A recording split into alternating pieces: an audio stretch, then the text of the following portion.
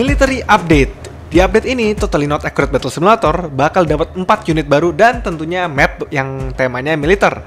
Kalau bingung Totally Not Accurate Battle Simulator itu apa, silahkan nonton playlist ini dan kita langsung lanjut aja ke update-nya. Jadi karena ini military update, tentunya mapnya harus bertema militer. Jadi gue tambahin mapnya kayak militer camp. Di map ini ada banyak kotak-kotak, barbed wire, sandbag, mobil jeep, dan tenda militer. Kotak-kotaknya itu bisa digerakin dan bisa mantul-mantul, jadi ya lebih fun aja kelihatannya. Dan bentuk islandnya ini gue terinspirasi dari Pentagon gitu. Makanya bentuknya juga Pentagon. Dan kita lihat udah pada berbaris untuk introduce rekan military terbaru kita. Yaitu Dual Gunner. Nah, unit Dual Gunner ini memiliki dua pistol yang nembak musuh secara rapid fire. Range-nya itu sedang, tapi serangannya itu selalu ampuh alias selalu kena. Walaupun di infonya itu damage-nya kecil, tapi karena serangannya itu kenceng, jadi tetap sakit. Nah, desain dual gunner ini gue terinspirasi dari Tomb Raider dan Black Widow gitu sih. Jadi makanya ada dua pistol dan bajunya tuh yang kayak agak spy-spy gitu. Gue juga tambahin particle effect seperti muzzle flash di senjatanya. Dual gunner ini cocok banget buat lawan musuh yang tebel kayak mailman atau assassin. Tapi dia tuh kurang cocok kalau dikeroyok kayak dikeroyok banyak ninja gitu. Nah, kalau keroyokan kayak gini, ada unit yang cocok banget buat lawan mereka. Yaitu unit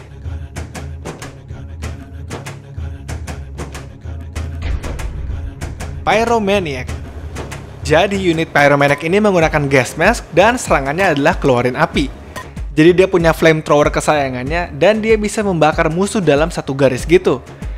Nah, musuh yang kena bakarannya itu bakal kena damage terus dan kalaupun pergi, musuhnya bakal terbakar selama 2 detik.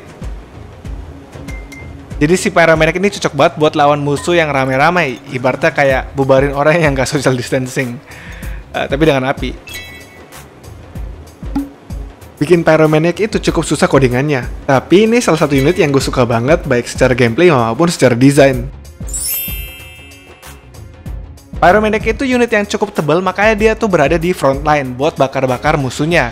Nah tapi ada unit yang lebih bagus ditaruh di belakang, yaitu unit terbaru Sniper.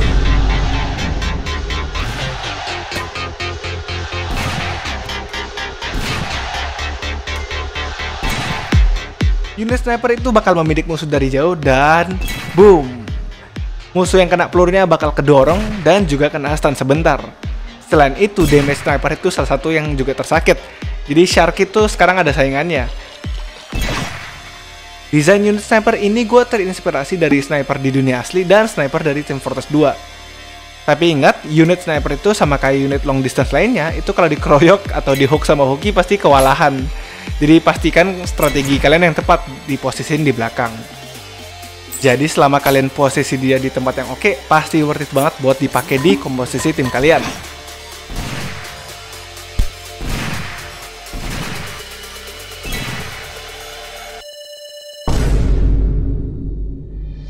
Di zaman dulu biasanya ada yang membawa bendera saat perang. Nah orang yang membawa bendera ini umumnya nggak bisa ngapa-ngapain selain angkat bendera. Tetapi ada tujuan penting, yaitu meningkatkan moral arminya. Makanya gue bikin unit, Flag Bearer. Unit ini membawa bendera tenap sesuai dengan warna timnya, dan di saat mulai war, dia bakal boost satu timnya dengan meningkatkan moral mereka. Nah, efek dari boost moral ini, satu tim lu bakal nambah health, speed, dan juga damage. Jadi kalau kalian udah dengar suara trompet, maka satu tim kalian bakal lebih kuat dan siap untuk bertempur. Bang. Kalian juga bisa pakai dua flag bearer biar makin kuat, tapi ya flag bearer agak mahal dan lebih cocok dipakai kalau tim lu emang rame. Flag bearer sendiri itu nggak begitu sakit damage ya, tetapi karena dia membawa bendera besar, gue bikin dia ada 10% kemungkinan nge-stun musuh karena ya bendera besarnya. Desain flag bearer ini gue terinspirasi dari ya pembawa bendera yang zaman dulu gitu. Gak cuman unit dan map yang baru, sistem spawn unitnya juga sekarang udah berubah gak langsung black nge-spawn tapi sekarang pelan-pelan. Dan ini harusnya membuat HP kentang kalian pas main lebih ringan ya. Harusnya ya. Selain menambah performance, gue juga lihat ini sebagai visual estetik aja sih. Dan juga gue tambahin satu fitur kecil yang kalian minta terus. Akhirnya gue masukin juga ke Totally Not Accurate Simulator. Yaitu, unit sebelum itu bakal tersimpan. Yeay! Jadi kalau di sandbox itu setelah kalian selesai battle ya, maka unitnya nggak langsung hilang, tapi masih ada. Ini salah satu request tersering dan terlama yang gue dapat. Jadi udah ya nggak usah di email lagi minta fitur ini. Nah sementara tuh kalau di level biasa, unit kesimpan itu kalau kalian kalah atau kalian pencet back. Tapi ini nggak ngefek ya kalau misalnya kalian pakai unit dari duit bonus. Jadi seperti contoh nih, duit gue udah habis, terus gue nonton ads buat dapat duit bonus, dan gue tambahin unit baru kan. Terus kalau gue mulai, terus gue back, unit sebelumnya bakal balik kecuali unit yang terakhir, karena itu dari duit bonus. Dan tentunya setiap update gue tambahin level juga, seperti tradisi. Jadi sekarang tuh level sampai 110 ya.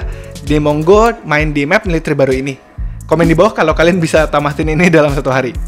Dan mapnya juga ada di sandbox kok, jadi kalian bisa eksperimen sebebas imajinasi yang kalian mau.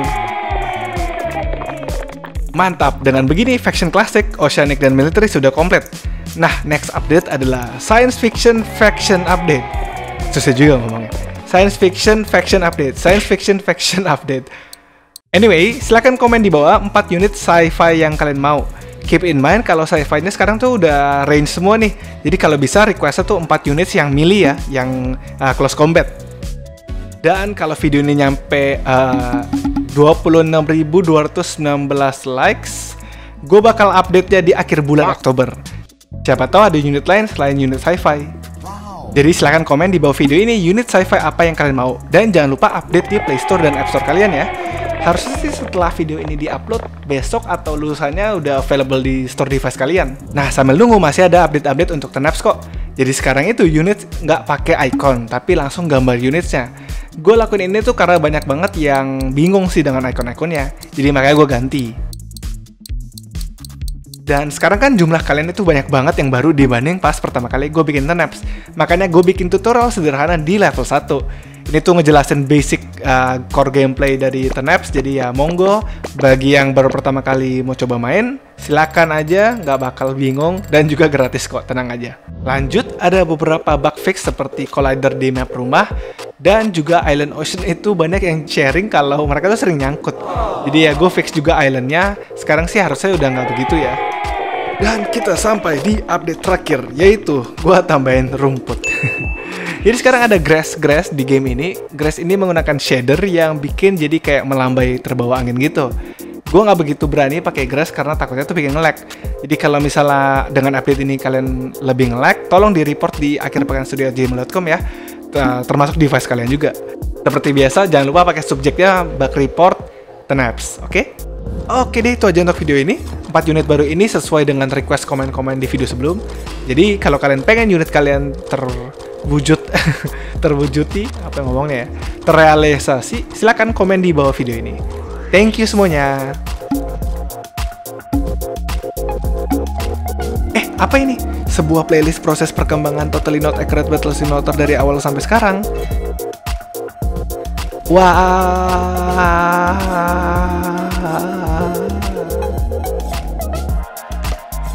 Wow,